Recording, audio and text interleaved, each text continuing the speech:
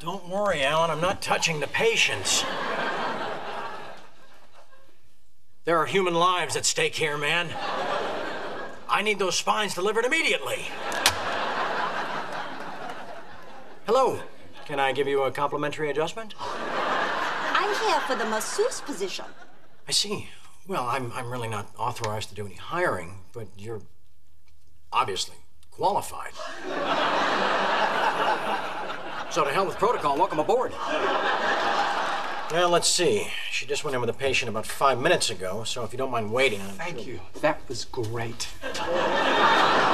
Good. Come back soon. Soon. I'll be back after lunch. You next? Oh, please. Let's go. What's this? You're cut. Click!